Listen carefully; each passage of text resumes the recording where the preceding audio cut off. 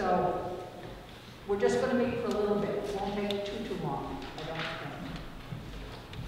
well, if we have uh, Chris around, she'll make sure we get out. She will, she will. Are there any other announcements? Then, if you are comfortable doing so, please rise for the call to worship printed in your bulletin.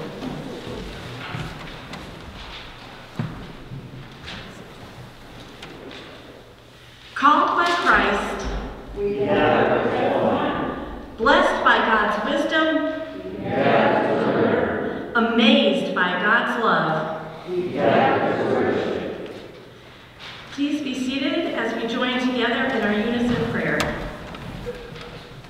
God of glory and might, speak to us with your wisdom, that we might truly hear you. Display your majesty, that we might truly see you. Transform the chaos of our lives with the clarity of your call, that we might worship you in spirit and in truth.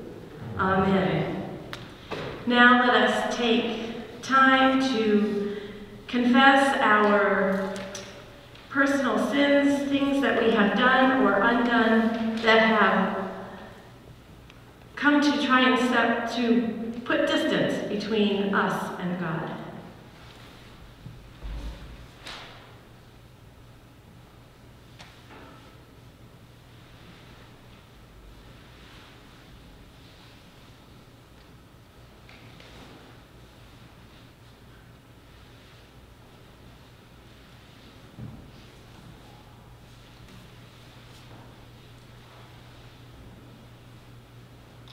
We are told that nothing on heaven or earth can separate us from God's love. In the name of Jesus Christ, our sins are forgiven. Let us, as forgiven people, share the peace of Christ from our seats.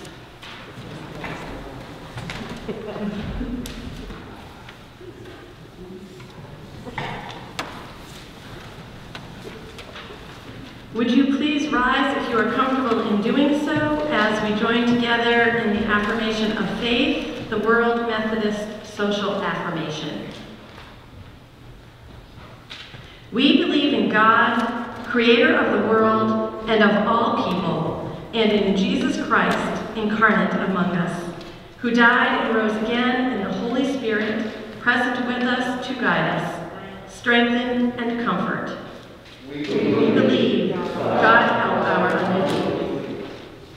We rejoice in every sign of God's kingdom, in the upholding of human dignity and community, in every expression of love, justice, and reconciliation, in each act of self-giving on behalf of others, in the abundance of all of God's gifts, entrusted to us that we may have enough in all responsibilities use the earth's resources.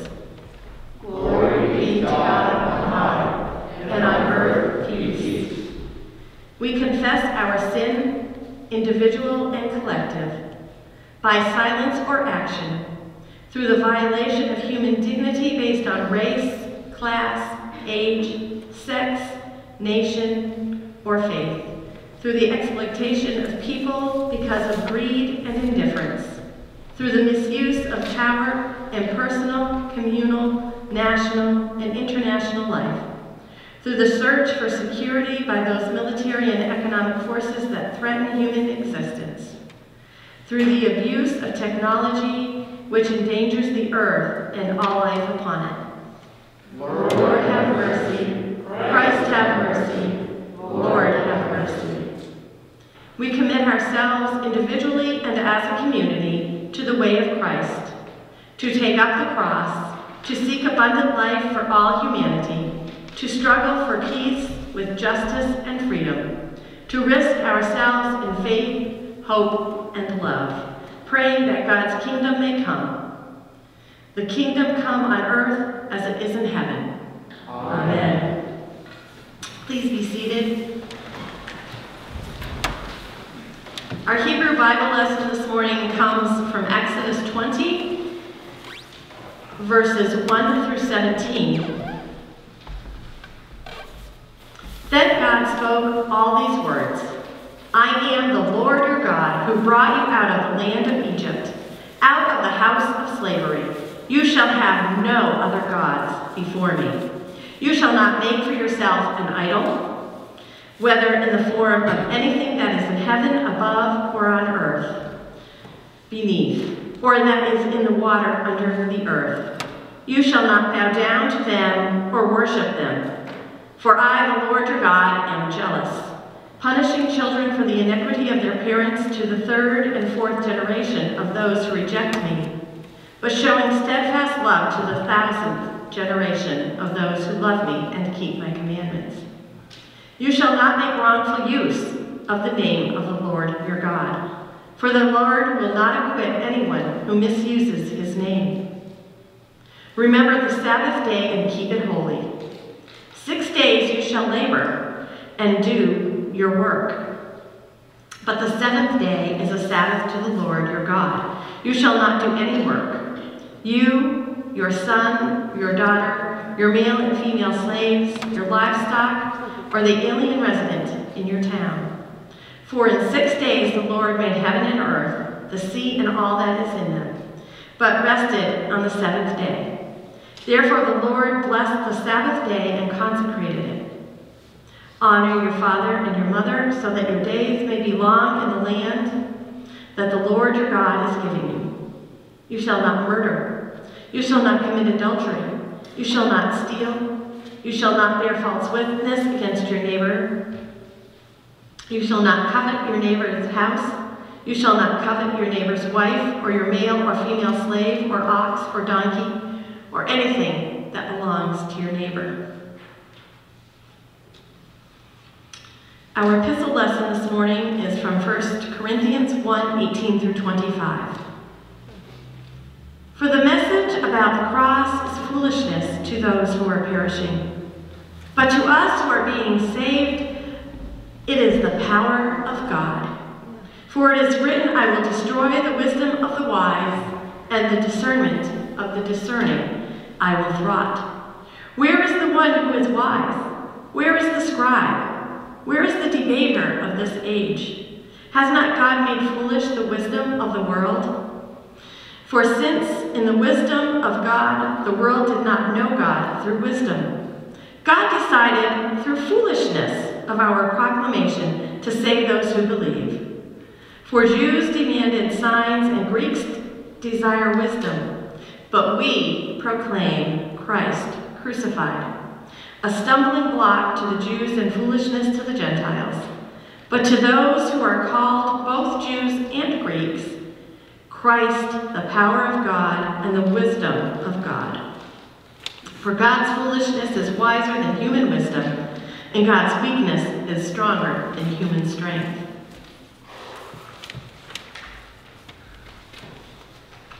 If you are comfortable doing so, would you please rise for the gospel lesson, which is taken from the gospel according to John, chapter 2, verses 13 through 22.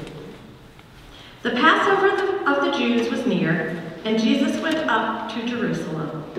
In the temple he found people selling cattle, sheep, and doves, and the money changers seated at their tables.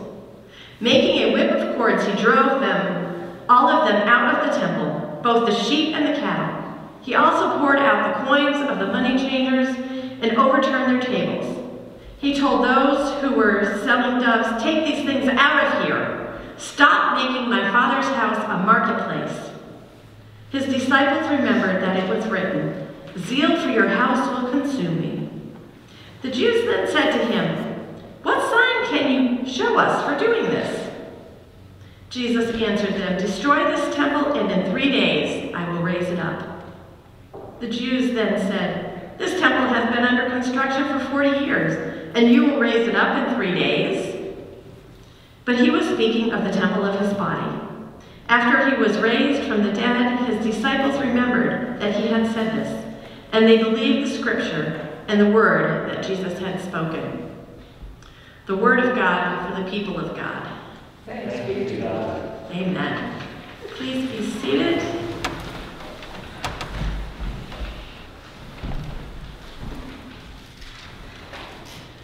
So here we are on our Lenten journey, our pilgrimage through the season of Lent.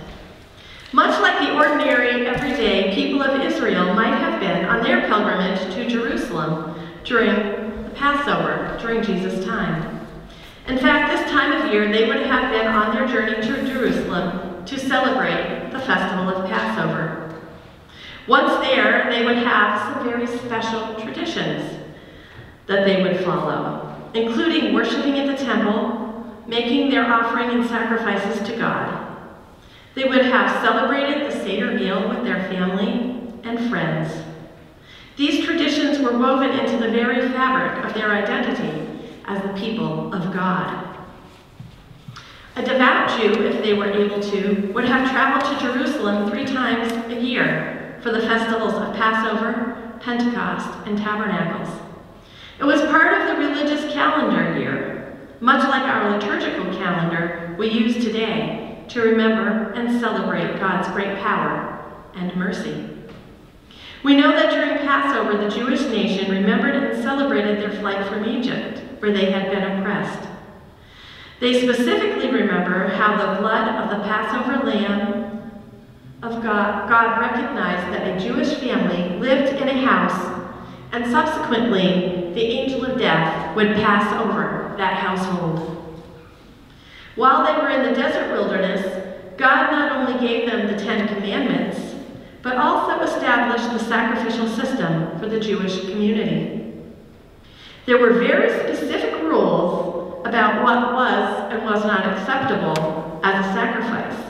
Rules for how the priests were to make the offerings to God on behalf of the people of God. There were five types of basic types of offerings. Burnt offerings, to make payment for sin in general. Grain offerings, to show honor and respect for God in worship. Peace offerings, to express gratitude. Sin offerings, to make payment for unintentional sin. That is what restores right relationship with God. Guilt offerings to make payment for sin against God and others. Though there were different types of offerings, the common thread was that the offerings were to be from the first fruits, the best of what they had to offer, not the leftovers.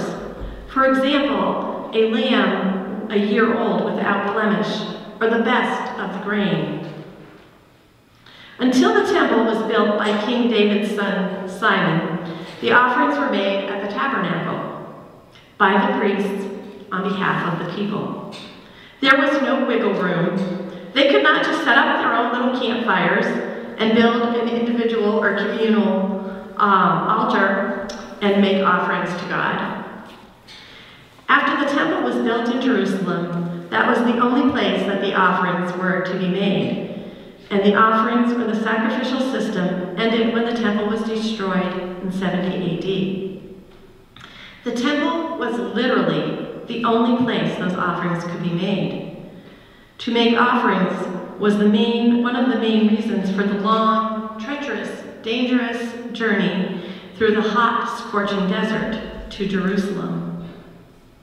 We know that God does not make mistakes, and therefore the sacrificial system itself was not flawed, but the humans in charge of running it, much like us, were deeply flawed.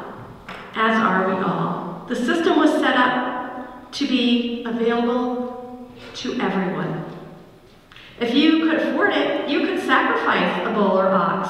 If not, a lamb or a goat. If you were really poor, a pair of turtle doves was every bit acceptable in the eyes of God as the bull. It was indeed to be your first fruits, the best of what you had. Now, if you were a pilgrim, imagine traveling many miles on foot in the heat of the desert. You had to worry about having enough to eat and drink for the journey. Were there bandits on the road? Would you contract malaria? No matter how perfect or unblemished it was, if you brought with you your sacrifice from your home, by the time you arrived in Jerusalem, it would no longer have been a perfect, unblemished sacrifice. And so people were forced to buy their sacrifice when arriving in the city. Also, common money, that is Roman money, could not be brought into the temple because it had the image of Caesar on it. It was not allowed into the inner parts of the temple. So in order to make their monetary offering to the temple, the money needed to be changed temple shekels. So what happens to the tourist industry during a huge event? Because there were thousands that would come for this pilgrimage. Like the price of hotel or dinner, when the Super Bowl or the Olympics comes to town, the law of supply and demand kicks in, right? The price of the sacrifice is outrageous, and the exchange rate is through the roof. So now you have this group of poor families that have saved all year to come to Jerusalem and they can barely afford the sacrifice and the exchange rate that is demanded of them. The salespeople and the money changers are becoming wealthy on the backs of the poor individuals. Which is why at the, oh, which was at the time the only way to get right with God or accepted back into the community. The only way was to make your sacrifice. And here are the money changers making this difficult or impossible for the common worshiper. When Jesus arrives on the scene, for he too was in the city to celebrate Passover, he sees what is happening and is consumed with zeal for the house of the Lord. He knows what the sacrificial system is and supposed to be, how the money changers are profiting on the backs of the poor. And at the same time, he is acutely aware of God's ultimate plan to do away with the old sacrificial system and replace it with the new covenant, with his very own blood sacrifice. For the animal of the sacrifice took on the sins of the worshiper, so they would not die, but instead be restored in relationship to God. Jesus knew he was to become the true Passover lamb. His blood shed once and for all. He reveals this in his plan when he says, Destroy this temple, and I will rebuild it in three days. It was not understood until after the resurrection that the temple he referred to was his very own body. After Jesus' death and resurrection, the new covenant was established. The covenant we remember and celebrate this morning during communion. We no longer need to go through the money changers and the salespeople to buy a sacrifice to offer at the temple. No, instead, we have total and complete forgiveness through Jesus Christ. We are forgiven and made whole. Our relationship with God is restored, and we are made new in Christ. Amen? So that should have been it, right? New life restored in Christ, available to all. Problem solved? Yet somehow, through the ages, other things have crept in and taken the place of the money changers. At the time of the Reformation the church itself took the role on while selling indulgences. Really, it was the way that they they told the common person that they could buy the way out of purgatory for their loved ones. What it really did was fund the holy wars on the backs of the common and the most poor. The need for change brought about the Reformation and Protestantism as we know it. So that really, that should have been it, right? First problem fixed, second problem fixed. We approach the throne of God unhindered. However, through the ages, countless things have taken the place of the money changers, greedy salespeople, and indulgent sellers, individually, in communities of faith, and complete societal structures. And through all of this, through all of this, God has inspired and given us renewal and reformation. The way to the cross cannot be hindered by mere mortals. And yet God uses us mere mortals as instruments of change.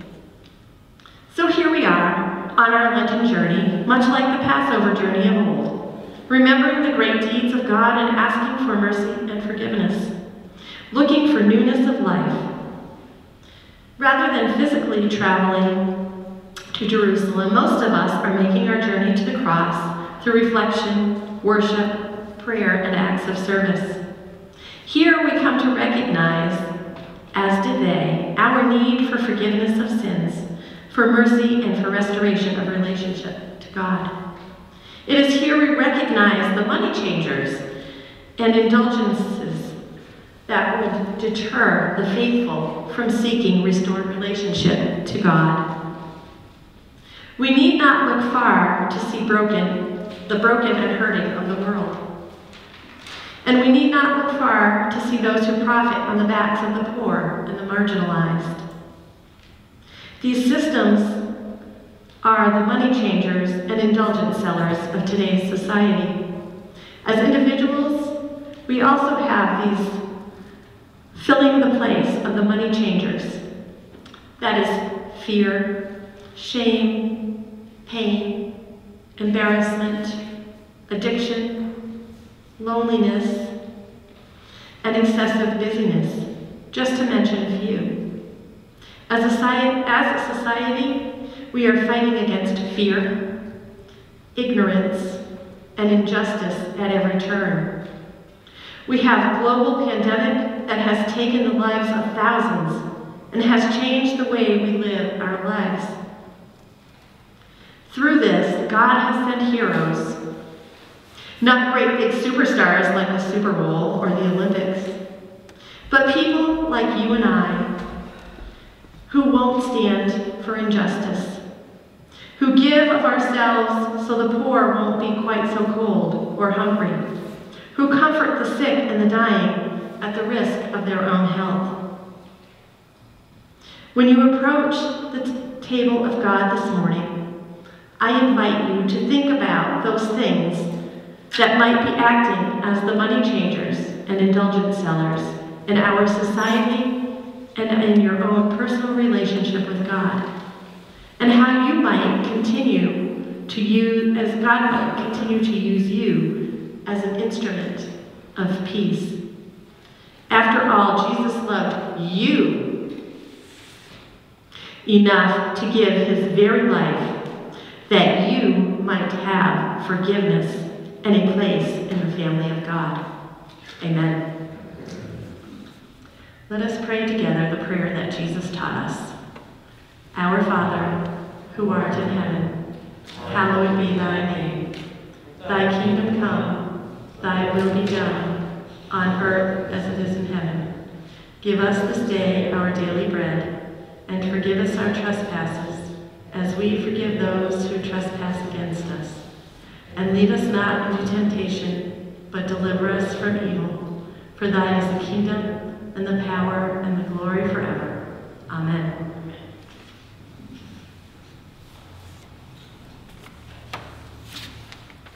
And now I invite Reverend Comstock to come up for the Great Thanksgiving, which is printed in your bulletins.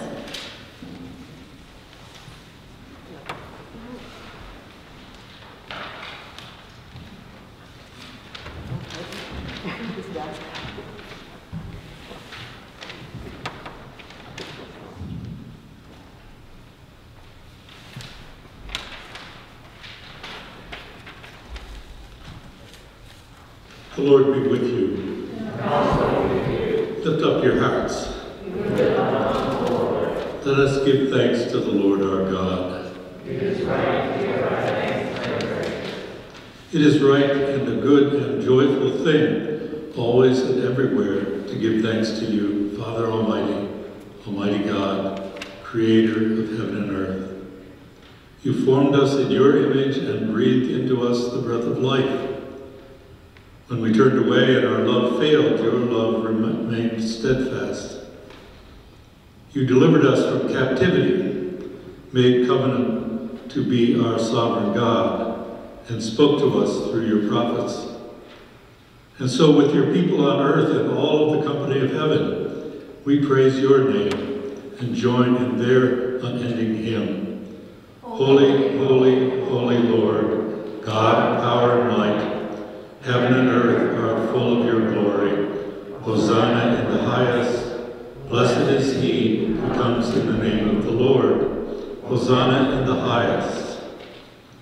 Holy are you, and blessed is your Son, Jesus Christ.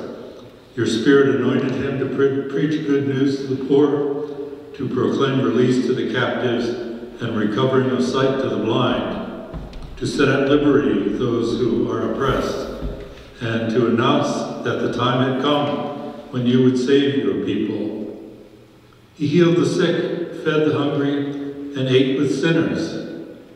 By the baptism of his suffering, death, and resurrection, you gave birth to your church, delivered us from slavery to sin and death, and made with us a new covenant by water and the Spirit. And when the Lord Jesus ascended, he promised to be with us always in the power of your word and Holy Spirit. On the night in which he gave himself up for us, he took bread, gave thanks to you, broke the bread, gave it to his disciples, and said, Take, eat, this is my body, which is given for you. Do this in remembrance of me.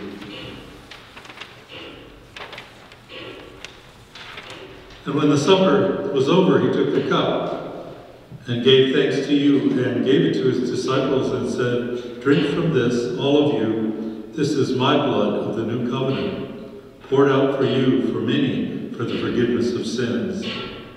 Do this as often as you drink it in remembrance of me. And so in remembrance of these your mighty acts in Jesus Christ, we offer ourselves in praise and thanksgiving as a holy and living sacrifice in union with Christ's offering for us as we proclaim the mystery of faith. Christ has died, Christ is risen, Christ will come again. Pour out your Holy Spirit on us gathered here and on these gifts of bread and of wine, and make them for us the body and blood of Christ, that we may be for the world the body of Christ, redeemed by his blood. By your Spirit, make us one with Christ, one with each other, one in ministry to all the world, until Christ comes in, in final victory, and we praise and we feast at his heavenly banquet. Let us pray the Lord's Prayer again. Our Father, who art in heaven, hallowed be thy name.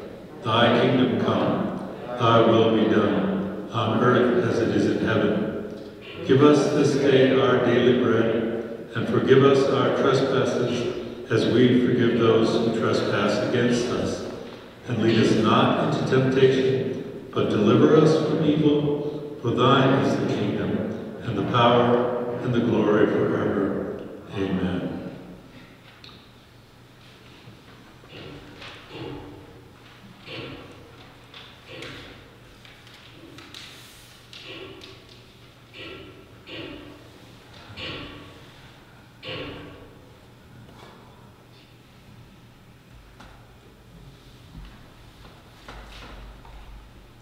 The bread which we break is a sharing of the body of Christ.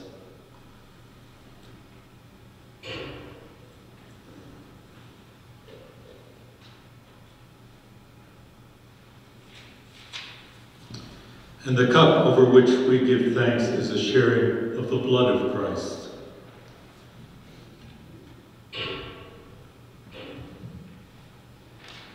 By your Spirit, make us one with Christ, one with each other, and one in ministry to all the world, until Christ comes in final victory as we feast at his heavenly banquet. Through your Son, Jesus Christ, with the Holy Spirit, in your holy church, all honor and glory is yours, Almighty God, now and forever. Amen.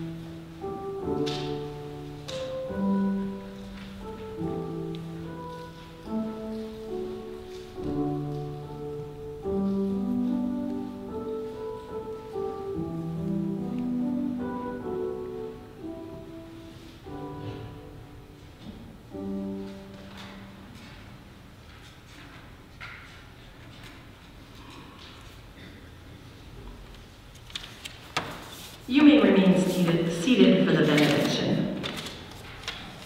Blessed by God's wisdom, called by Christ, amazed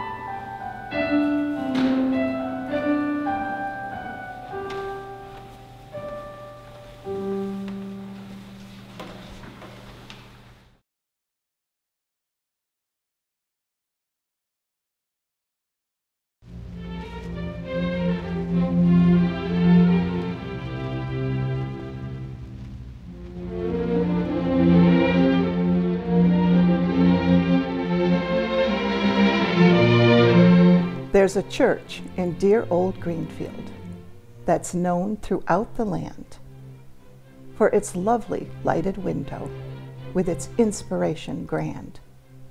Many an evening as I passed it, tired from duties of the day, I have felt inspired, uplifted, as I've homeward gone my way.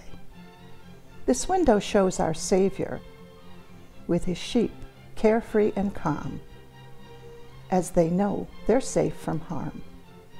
In his arms a lamb is carried. We are the sheep, and he's our shepherd. As we feed in pastures green, knowing if we only trust him, we may safely on him lean. Jesus tells us in his Bible that he loves us, every one, even sparrow, sheep, and mankind, all that grows beneath the sun.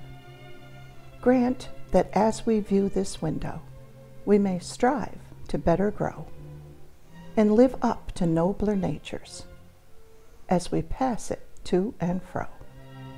Bless this church and all who enter. May its influence expand. Bless the pastor and his family. May we form a mighty band that will spread the gospel's story, further God's work here on earth. For without his Holy Spirit, there is nothing that has worth.